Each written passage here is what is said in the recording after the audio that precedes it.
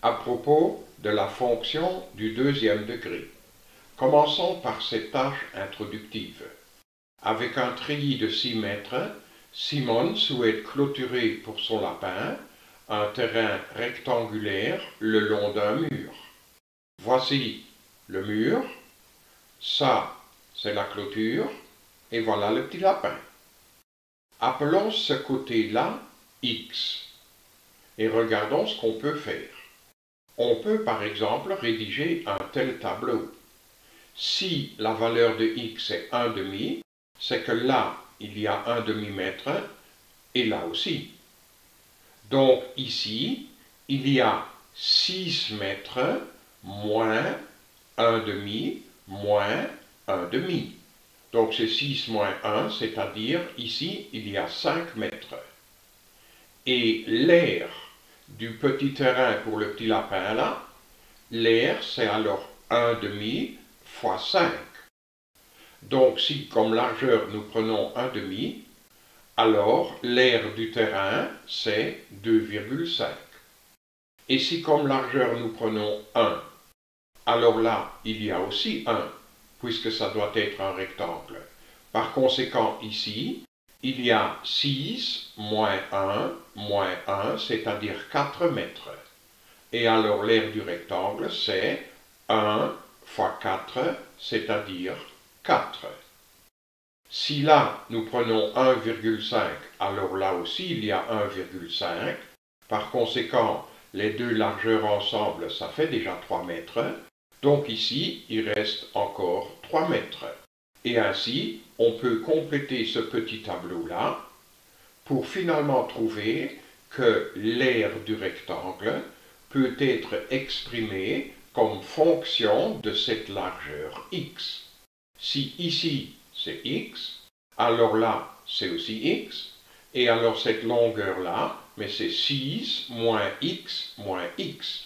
Donc ça, c'est 6 moins 2x.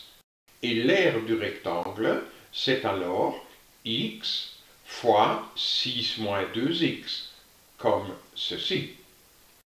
Et x fois 6 moins 2x, ça fait moins 2x carré plus 6x.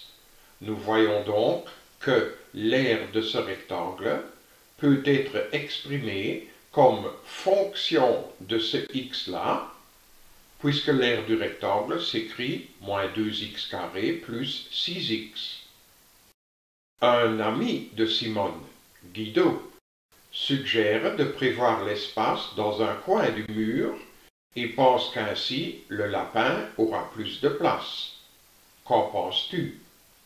Analysons cette situation, donc voici un coin de mur et Guido propose d'utiliser les 6 mètres de treillis comme ceci. Il faut toujours que le terrain pour le petit lapin soit rectangulaire.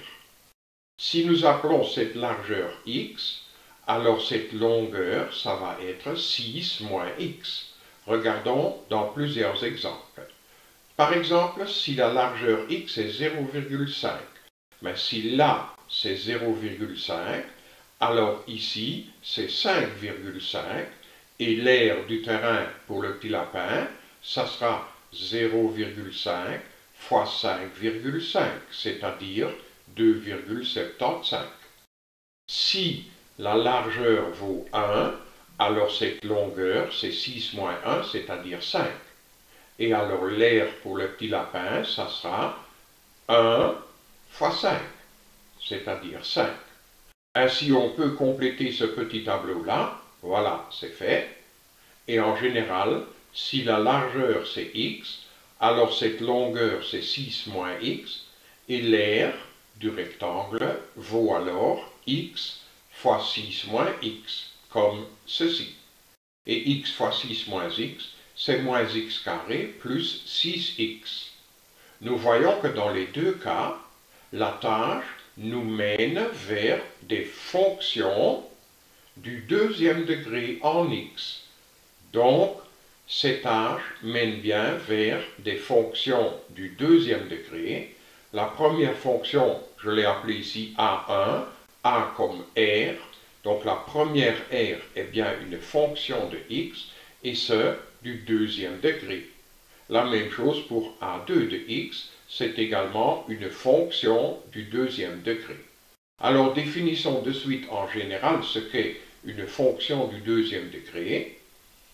Une fonction du deuxième degré est une loi f qui va de R dans R telle que le nombre réel x est pour image le nombre réel ax carré plus bx plus c. Avec a, nombre réel mais non nul, parce que si a était égal à 0, ce terme n'y figurait pas, et alors ça serait une fonction du premier degré qui a x associe bx plus c. Puisque nous étudions ici une fonction du deuxième degré, nous pouvons supposer sans restriction que a n'est pas nul. b et c, ce sont deux nombres réels quelconques, ils pourraient éventuellement être nuls.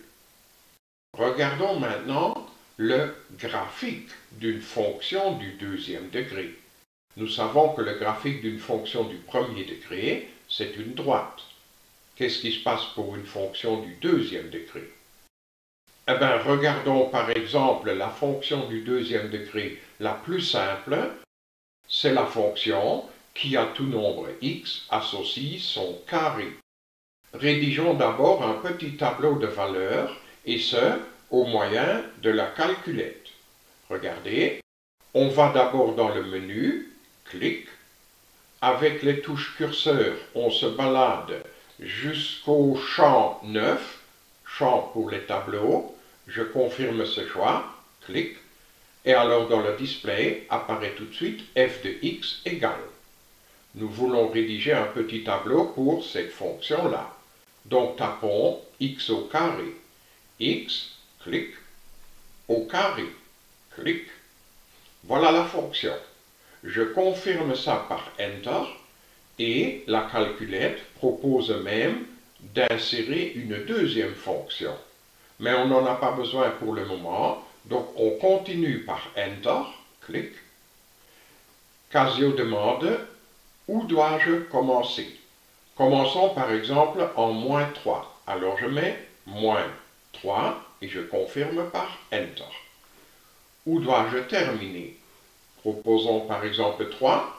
Alors j'insère 3, Enter. Les incréments, ce sont les pas. Proposons par exemple des pas de 0,5.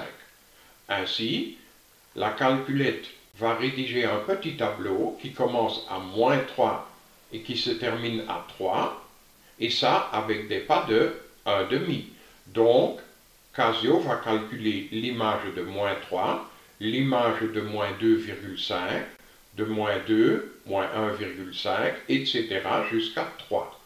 Confirmons l'incrément par Enter, Enter, encore une fois Enter, et le voilà déjà, le petit tableau moins 3 a comme carré 9, moins 2,5 a comme carré 6,25, moins 2 a comme carré 4, etc.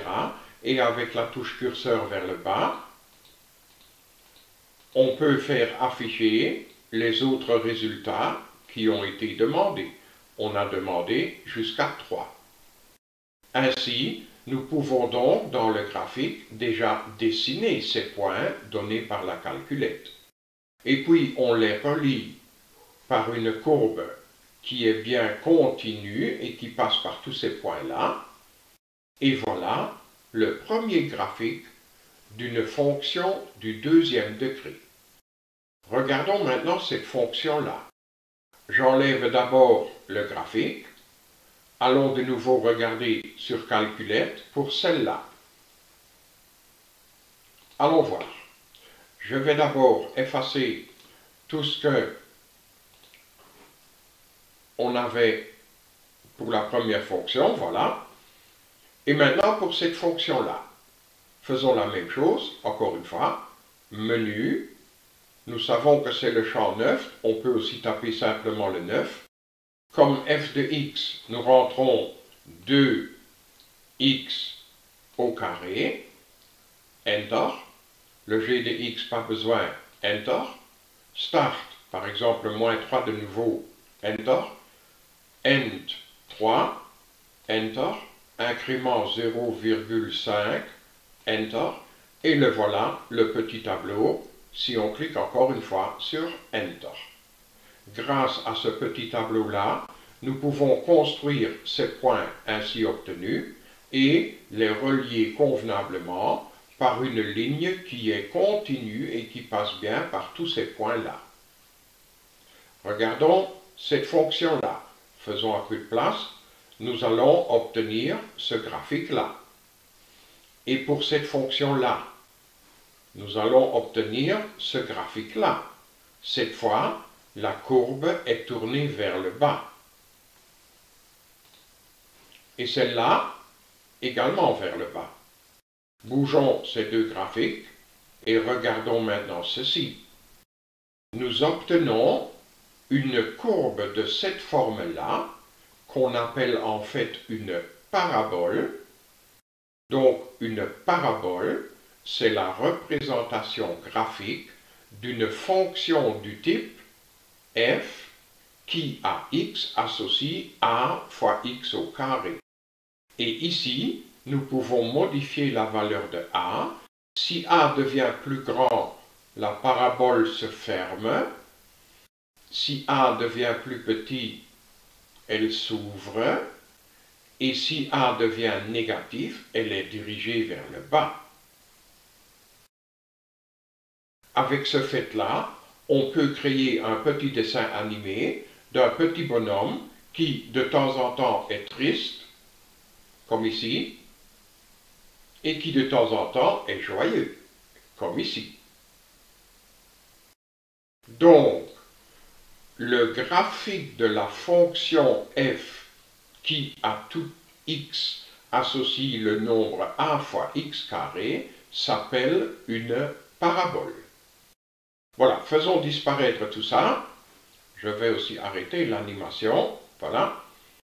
Et continuons avec g1 de x égale x carré. Nous savons bien que le graphique, c'est celui-là. On appelle ça aussi la parabole canonique. C'est la parabole de départ. Traçons maintenant le graphique de x plus 1 au carré. Alors, on obtient cette parabole-là on dirait que cette parabole canonique a été translatée de 1 vers la gauche. Regardons pour cette fonction-là. GeoGebra trouve de suite ce graphique-là, c'est-à-dire la parabole de départ a été translatée de 2, mais vers la gauche. Et celle-là, ici c'est moins 3, donc probablement cette parabole canonique-là va être translatée de 3 vers la droite. Vérifions, ça a l'air de fonctionner. Et celle-là, 4 vers la droite. Regardons, ok, ça marche. Faisons un peu de place. Voilà. Et recommençons avec notre parabole canonique x carré. Nous savons bien que si de la variable x on retire 2, alors cette parabole va être translatée de 2 vers la droite. Regardons maintenant cette fonction-là.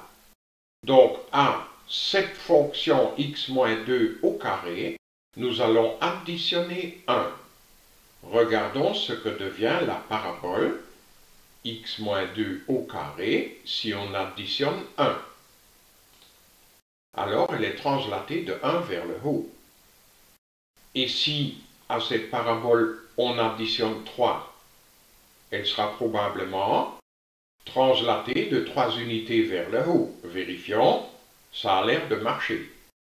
Et si on retire 3, alors cette parabole sera translatée de 3 unités vers le bas. Ça a l'air de fonctionner tout ça. Faisons un peu de place. Voilà. Et tirons-en des conclusions. Nous partons de la fonction canonique qui a x associe x au carré. Si nous arrivons à écrire le trinôme du second degré ax carré plus bx plus c sous la forme a fois x moins r au carré plus s, alors nous pouvons en déduire que ce nombre R a pour effet une translation horizontale, que ce nombre S a pour effet une translation verticale, et que ce nombre A a pour effet de changer l'ouverture de la parabole. Si A est positif, l'ouverture est dirigée vers le haut, et si A est strictement négatif, l'ouverture est dirigée vers le bas. Retenons donc déjà ceci. Donc apparemment, une telle parabole écrite sous cette forme-là n'est rien d'autre que l'image de la parabole d'équation cartésienne y est égal à ax carré par la translation t de coordonnées r, s. Mais si nous avons le trinôme du second degré sous la forme ax carré plus bx plus c, comment trouver le r et le s? C'est ce que nous allons regarder maintenant il paraît que le graphe de la fonction f qui a tout x associé à x carré plus bx plus c n'est rien d'autre que l'image de la parabole dont l'équation cartésienne c'est y égale ax carré par la translation t de coordonnées moins b sur 2a moins delta sur 4a. Démontrons ce théorème-là. Nous partons du trinôme du second degré. D'abord, nous mettons le nombre a en évidence. Alors là, on est obligé de diviser par a. Nous sommes sûrs que a n'est pas nul, puisque la fonction donnée est bien du deuxième degré. Maintenant, les deux premiers termes des parenthèses vont être complétés par un troisième terme pour que ces trois termes forment un carré. Nous avons déjà vu ça dans le tutoriel précédent. Donc ces trois termes-là forment le carré x plus b sur 2a au carré, et ce terme qu'on a rajouté, on l'a soustrait aussitôt. Donc finalement, nous trouvons comme expression algébrique a fois x plus b sur 2a au carré, plus ces deux fractions ont été réduites au même dénominateur, et on trouve ainsi 4ac moins b carré sur 4a carré. Là, nous reconnaissons bien sûr l'opposé de delta. Delta, c'est b carré moins 4ac. Donc 4ac moins b carré, c'est moins delta. Et le f de x peut donc s'écrire sous cette formule-là. Ce nombre a a été distribué sur les deux termes de la parenthèse, ce qui donne alors ceci. Ce a se simplifie encore avec celui-là, et nous pouvons écrire le f de x sous cette forme-là. a fois x moins ce nombre-là au carré, plus ce nombre-là. Et le f de x a bien été écrit sous cette forme-là c'est bien la forme A, A, fois x moins r au carré, fois x moins r au carré, plus s, plus s. Donc la coordonnée de cette translation, c'est bien moins b sur 2a, moins delta sur 4a, comme ceci. Et le théorème est bien démontré nous pouvons en tirer des conclusions. La parabole P d'équation cartésienne y égale ax carré plus bx plus c a donc comme axe de symétrie x est égal à moins b sur 2a et comme sommet le point S dont la coordonnée c'est moins b sur 2a moins delta sur 4a. Puisque cette parabole verte et l'image de cette parabole bleue par cette translation-là, c'est que le sommet 0,0 de la parabole bleue a été translaté vers là, et ce point a bien pour coordonnées moins b sur 2a moins delta sur 4a. Et puisque la parabole bleue a comme axe de symétrie l'axe des y, c'est que cette parabole verte a bien pour axe de symétrie la droite verticale d'équation cartésienne x égale r, donc ici x est égal à moins b sur 2a. Donc, nous pouvons tracer l'axe de symétrie de cette parabole verte ainsi que son sommet. Sommet qu'on ne voit pas bien, je vais soulever un peu la parabole. Voilà le sommet S. Si on nous donne l'équation cartésienne d'une parabole, nous allons tracer cette parabole assez rapidement au moyen de cinq étapes. Voyons d'abord les cinq étapes. Étape 1. On regarde le signe du coefficient de x carré, c'est-à-dire le signe de a. Si le nombre a est strictement positif, alors la parabole tourne sa concavité vers le haut. La concavité, c'est l'intérieur de la courbe. Donc encore une fois, si a est positif, alors la parabole tourne la concavité vers le haut. Et c'est facile à retenir parce que quelqu'un qui regarde de façon positive, il a les coins de bouche dirigés vers le haut. Et si A est strictement négatif, alors la parabole tourne la concavité vers le bas.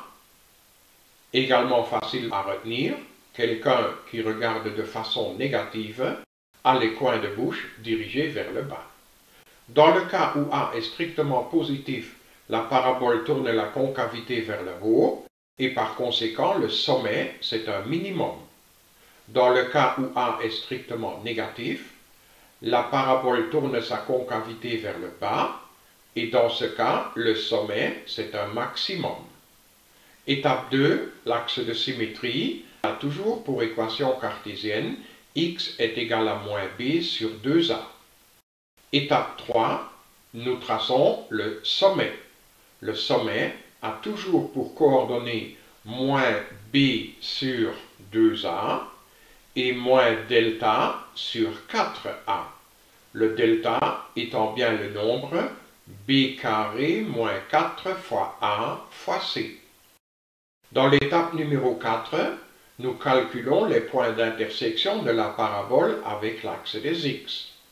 Nous cherchons donc les abscisses x dont l'image par la fonction est nulle, c'est-à-dire nous résolvons l'équation du deuxième degré ax plus bx plus c est égal à 0.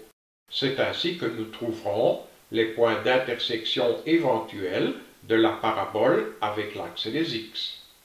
Le point d'intersection de la parabole avec l'axe des y se trouve en remplaçant dans l'équation de la parabole le x par 0. Tout point de l'axe des y a pour abscisse 0. Et le point correspondant de la parabole s'obtient en remplaçant là-dedans x par 0. Alors, on trouve que le y doit être égal à 0 plus 0 plus c, c'est-à-dire c. Voyons cela dans un exemple concret. Voilà la fonction du deuxième degré que nous allons représenter au moyen de ces cinq étapes. Étape 1. Nous regardons le nombre a. Il vaut 1, donc il est strictement positif.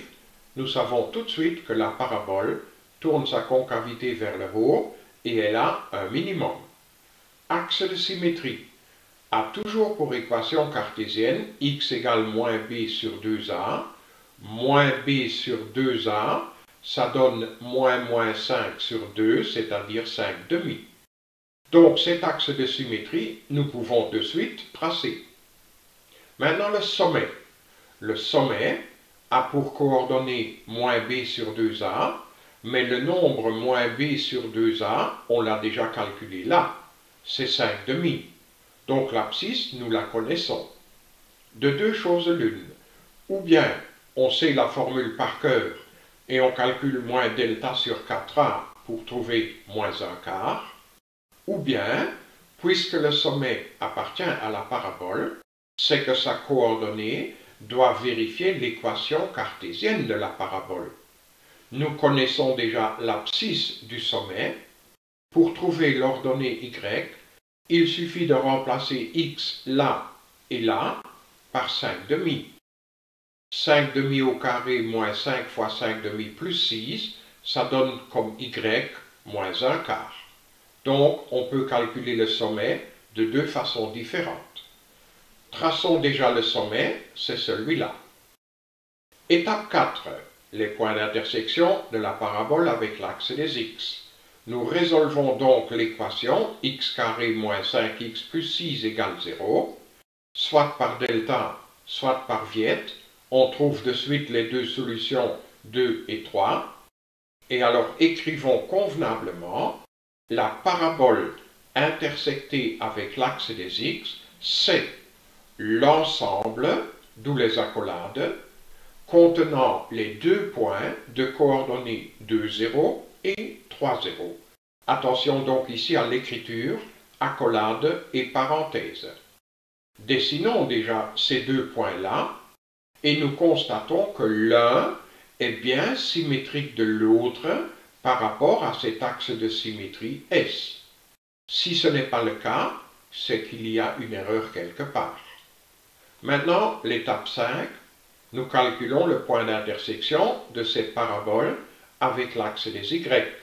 Mais c'est 0C, donc c'est 0,6. Faisons aussi attention à la façon de l'écrire. Traçons ce point 0,6, c'est celui-là. Puisque ça, c'est l'axe de symétrie, et ça, c'est un point de la parabole, le symétrique de ce point par rapport à cet axe petit s, c'est-à-dire ce point-là, doit également appartenir à la parabole. On pourrait presque tracer la parabole, mais de là à là, c'est quand même fort loin. Donc entre les abscisses 0 et 2, les deux points sont fort loin l'un de l'autre. Alors prenons une abscisse entre 0 et 2 Choisissons par exemple le 1 et calculons l'image de 1 par cette fonction. Mais si on remplace là-dedans x par 1, comme y, on trouve 1 au carré moins 5 fois 1 plus 6, c'est-à-dire 2. D'où ce point de coordonnées 1, 2. Ensuite, on trace son symétrique par rapport à l'axe de symétrie. Hop, ça aussi, c'est un point de la parabole. Et maintenant, avec ces sept points-là, on peut tracer la parabole de façon assez précise. Voilà l'étude approfondie de la fonction du deuxième degré.